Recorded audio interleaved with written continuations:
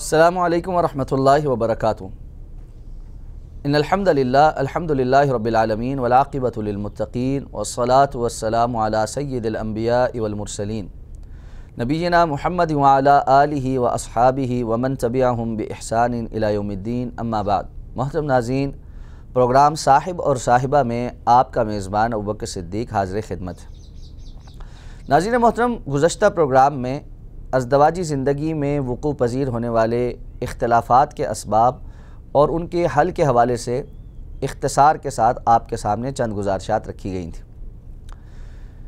इसी मौजू को आगे बढ़ाते हुए ये बात समझना ज़रूरी है कि हर कॉन्ट्रैक्ट बहरहाल ख़त्म होने के काबिल होता है।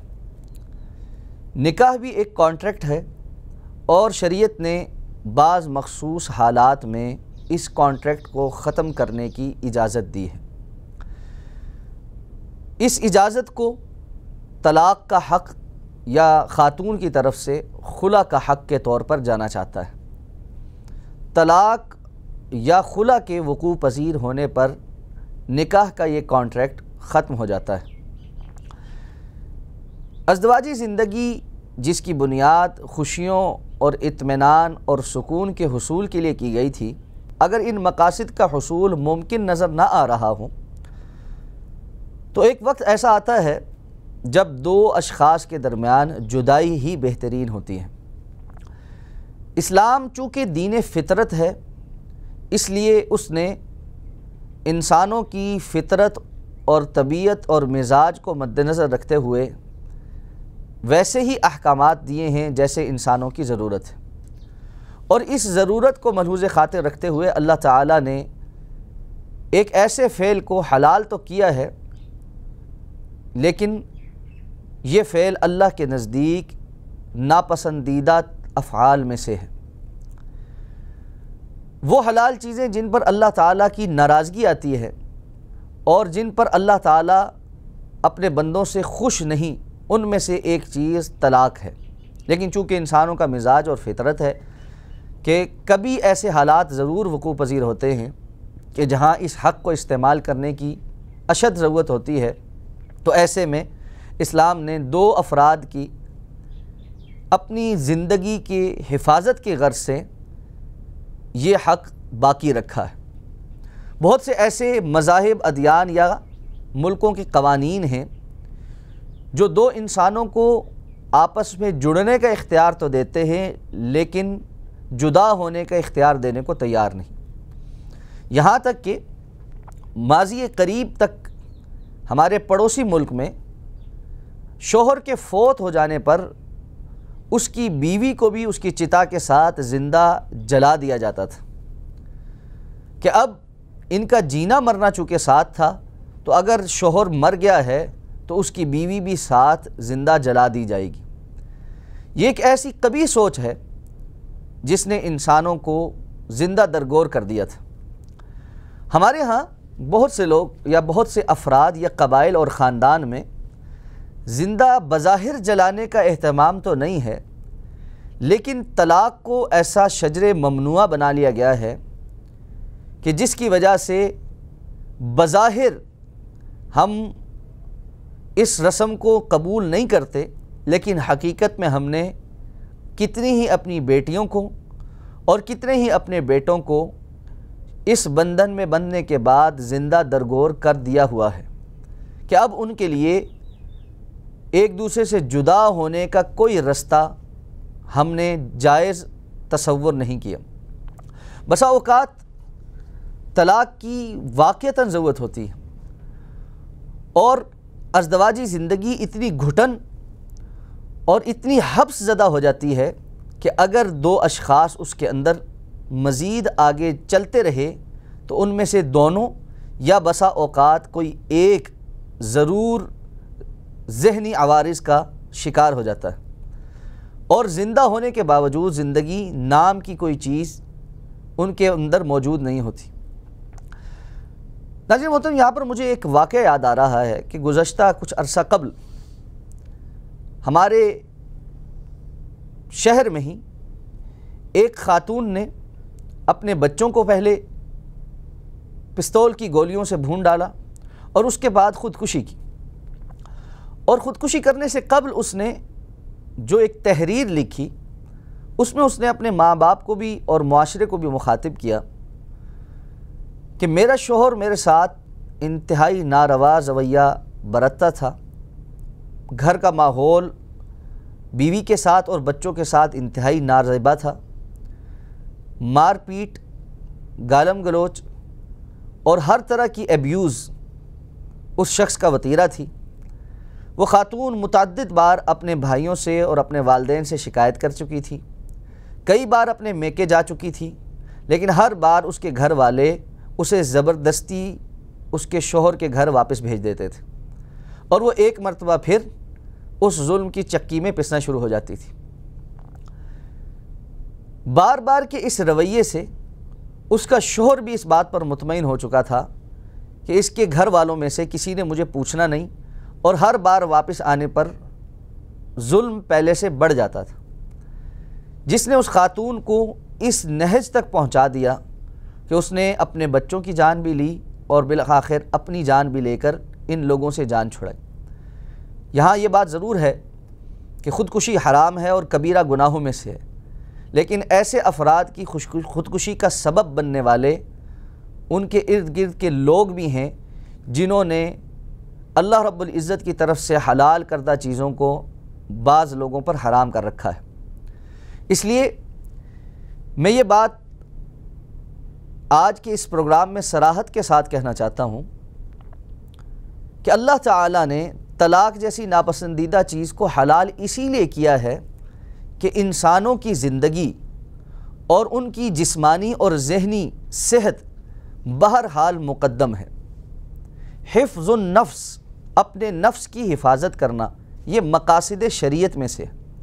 और अगर कोई ताल्लुक़ इंसान के नफ्स की हिफाजत, अपनी जान की हिफाजत के ही बेतर दरपे हो चुका हो और उसमें आगे बढ़ना इंसान के लिए जिस्मानी, जहनी और खुशहाल ज़िंदगी की तबाही की तरफ़ लेकर जा रहा हो।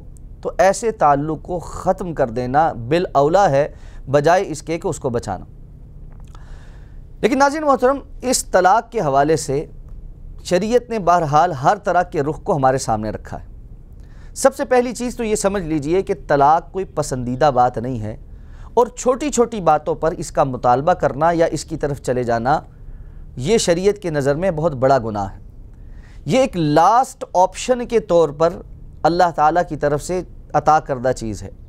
उससे पहले के बहुत से मराहले हैं, जिनसे गुज़र कर किसी शख्स को इस तलाक़ के मरहले तक या किसी खातून को इस तलाक़ के मरहले तक पहुँचना चाहिए। आइए आज के प्रोग्राम में हम इस हवाले से चंद बातें जानने की कोशिश करते हैं। सबसे पहली चीज़ तलाक़ शैतान के हथकंडों में से एक बहुत बड़ा हथकंडा है, जो इस्तेमाल करके वो मुसलमान माशरों को कमज़ोर करता है। रसूलुल्लाह सल्लल्लाहु अलैहि वसल्लम का फ़रमान हज़रत जाबिर रज़ी अल्लाह तु इस हदीस के रावी हैं और ये सही मुस्लिम की रवायत है। आप सल्लल्लाहु अलैहि वसल्लम ने फरमाया कि इबलीस हर रोज़ अपने अर्श को, अपने तख्त को जो पानी पर है, सजाता है। और दुनिया के अंदर अपने चेले चांटों को भेजता है ताकि वो लोगों को गुमराह करें और उनकी ज़िंदगियों को तबाह करें। जब वो वापस आकर उसके सामने रिपोर्ट पेश करते हैं तो कबीरा गुनाह और बड़े बड़े गुनाह करवाने वाले अपनी रिपोर्ट पेश करते हैं कि आज हमने फ़लाँ गुनाह करवाया और फ़लाँ गुनाह करवाया। लेकिन वो उन्हें कहता है कि तुम कोई काम की बात नहीं करके आए, तुमने कोई ख़ास मकसद हासिल नहीं किया। जब इसके चेलों में से एक उठकर ये कहता है कि आज मैंने मियाँ बीवी के दरमियान जुदाई डलवाई, लड़ाई करवाई, झगड़ा करवाया और तलाक तक नौबत पहुँचवाई। तो ये अपने तख्त से नीचे उतर कर आकर उसे गले लगाता है, थपकी देता है और कहता है, ये वो काम है जो असल काम है और तुम जिसे हासिल करके आए हो। इससे आप अंदाज़ा लगा लीजिए कि तलाक़ और मियाँ बीवी के दरमियान जुदाई हो जाना शैतान के कितने बड़े हथकंडों में से और उसकी कितनी बड़ी कामयाबी है, जिस पर वो बाकायदा जश्न मनाता है। तलाक़ अल्लाह ताला की तरफ़ से एक लास्ट ऑप्शन के तौर पर अता की गई है। और इबलीस के हथकंडों में से एक हथकंडा ये है कि वो सबसे ज़्यादा इस बात पर खुशी मनाता है कि जब मुसलमान मियाँ बीवी के दरमियान जुदाई होती इसलिए कि अजदवाजी ज़िंदगी के बाद ये मियाँ बीवी एक माशरे की बुनियादी इकाई थे। मुसलमान माशरे की बुनियादी इकाइयों और यूनिट्स को जितना वो तबाह कर सकेगा, उतना ही माशरा खलफशार का शिकार होगा। उतने ही लोग बेहयाई और बेरहरवी की तरफ़ गामजन होंगे। उतना ही अल्लाह रब्ज़त की तरफ़ उनका ईमान मुतजलजल होगा और मायूसी बढ़ेगी और नतीजे में वह उनको मन मर्ज़ी की ज़िंदगी गुजारने की तरफ़ उकसा सकेगा और ईमान से हाथ धुलवाने का सबब बनेगा। इसलिए ये बुनियादी चीज़ है कि जो लोग अपने घरों की हिफाजत कर लेते हैं और अपनी घरेलू ज़िंदगियों की हिफाजत कर लेते हैं, उनका ईमान निसफ हद तक मुकम्मल हो जाता है। रसूलुल्लाह वसल्लम फरमाया, जो शख्स निकाह कर लेता है, उसका आधा ईमान मुकम्मल हो गया। अब वो आधे ईमान की, बाकी आधे ईमान की खबर गिरी करे, उसकी मुकम्मल करने का अहतमाम करे। तो ये बात याद रखिए, जिसका आधा ईमान मुकम्मल हुआ था, इबलीस के इस हथकंडे की वजह से उसका आधा ईमान दोबारा से ख़तरे में पड़ गया है। और अब उसे उसकी भी खबर गिरी करनी है। यानी अगर हम सादा लफ्ज़ों में बात करें तो ये बंदा वलनरेबल हो गया। ये आजा, आसान शिकार बन गया है। तो निकाह का टूटना ये कोई इतनी आसान बात नहीं है कि जिसे हम फौरी तौर पर एक अपने ऑप्शन के तौर पर सोचना शुरू कर दें और छोटी छोटी बातों के ऊपर आकर एक दूसरे से तलाक लेने या खुला लेने के मुतालबे शुरू कर दें। इसी तरह रसूलुल्लाह सल्लल्लाहु अलैहि वसल्लम का फरमान गिरामी आपने फरमाया लईसा मिन्ना मन खब्ब इमरातन अला जौजिया अव अबदन अला सैद वो शख्स हम में से नहीं, जो किसी औरत को उसके शोहर के ख़िलाफ़ भड़काए या किसी ग़ुलाम को उसके आका के ख़िलाफ़ भड़काए। यानी कोई ऐसा शख्स जो दूसरों की तलाक का सबब बन रहा हो और गलत मशवरे और भड़का कर दूसरों की तलाक चाहता हो, ये शख्स इसका अल्लाह के रसूल सल्लल्लाहु अलैहि वसल्लम के साथ कोई ताल्लुक़ नहीं। इसी तरह अलैहि वसल्लम ने फरमाया, ला तसअलमरअतु तलाक़ सहफ़तहा वतन की फ़इन्नमा लहा मा क़ुद्दिर लहा। किसी औरत के लिए ये बात जायज़ नहीं कि वो अपनी सोकन की तलाक़ का मुतालबा करे, ताकि सोकन का हिस्सा भी खुद ले ले। जो उसकी किस्मत में लिखा है, उसे मिल जाएगा। तो अल्लाह के रसूल ने यह बात भी वाज फरमा दी कि किसी खातून का, किसी दूसरी औरत की तलाक़ का सबब बनना या किसी भी शख्स का किसी दूसरे की ज़िंदगी पर ऐसा असरानंदाज होना कि उसकी वजह से मियाँ बीवी के दरमियान इख्तलाफात बढ़कर तलाक़ की नौबत आ जाए, ये संगीन और कबीरा गुनाह है। इसी तरह मर्दों को आप सल्लल्लाहु अलैहि वसल्लम ने यह तंबी फरमाई कि बिला सबब छोटी छोटी बातों को बुनियाद बनाकर जो अल्लाह के यहाँ उज़र नहीं है तलाक़ देना ये कबीरा गुनाहों में से है। आप सल्लल्लाहु अलैहि वसल्लम ने फरमाया, हज़रत अब्दुल्ला इब्न उमर रज़ी अल्लाह तुमा इस हदीस के रावी हैं और ये सही सनद की रवायत है। आपने फरमाया इन आज़मजुनूब इंदल्लाही रजुल तज़वजा इमरातन फ़लम्मा कदा हाजत मिनहा तल्लक़ा व जहब बमहरिहा। अल्लाह के नज़दीक अजीम तरीन बड़े संगीन गुनाहों में से एक गुनाह ये भी है कि आदमी किसी औरत के साथ निकाह कर ले फिर जब अपनी ज़रूरत पूरी कर ले तो उसे तलाक भी दे दे और उसका महर भी अदा ना करे। यानी जो अपनी ज़रूरत थी वो पूरी कर ली और उसके बाद किसी और तरफ़ मुँह मारने के लिए बग़ैर सबब के तलाक दे दी और सिर्फ़ तलाक नहीं दी, दूसरा जुल्म ये भी किया कि महर भी अदा नहीं किया।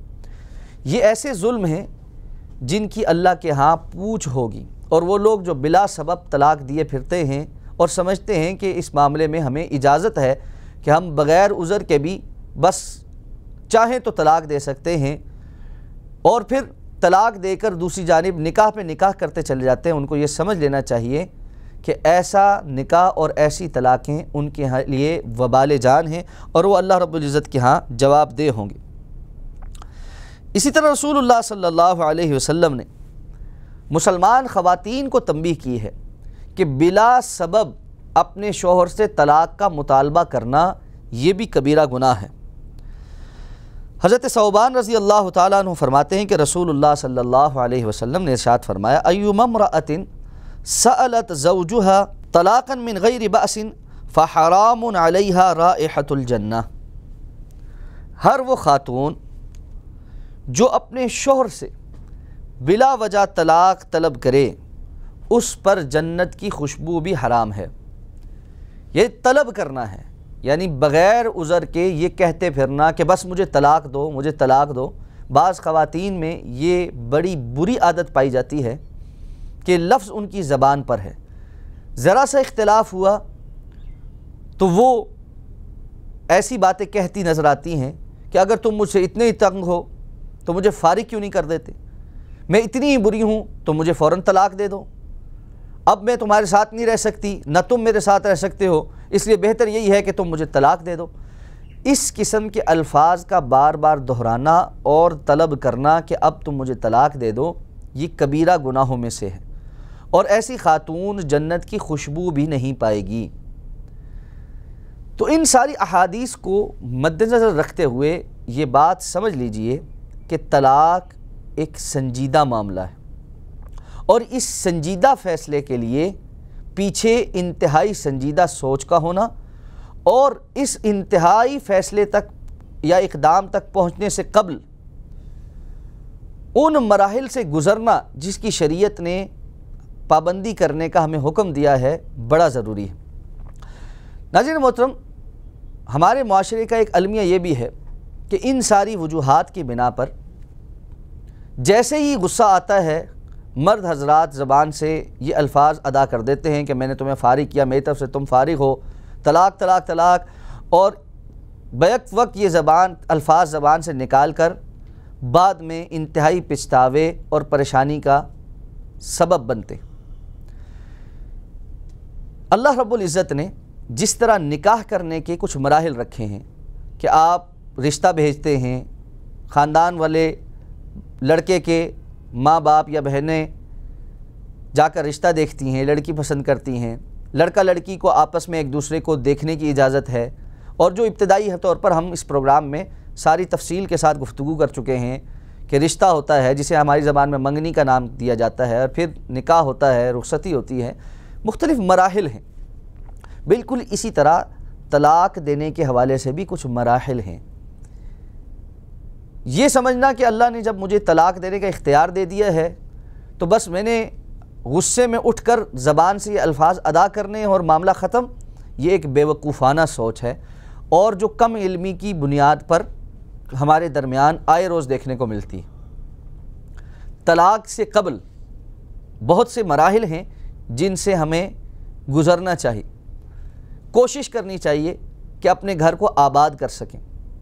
और उन मराहल की तकमील के बाद भी अगर यही फ़ैसला सामने आता है कि इसके अलावा कोई और चारा नहीं कि हम अपनी ज़िंदगी के रस्ते जुदा कर लें तो फिर शरीयत के मुताबिक तलाक देनी है।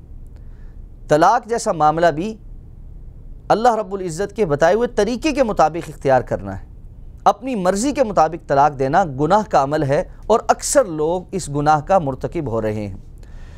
आज के प्रोग्राम का वक्त मुकम्मल हुआ चाहता है। अगले प्रोग्राम में इन यहीं से अपनी गुफ्तु को दोबारा शुरू करेंगे कि तलाक से कबल वो कौन से मराहल हैं जिनको मलहूज़ ख़ातिर रखना ज़रूरी है। अगले प्रोग्राम तक के लिए इजाज़त दीजिए। असल वरहमल वर्का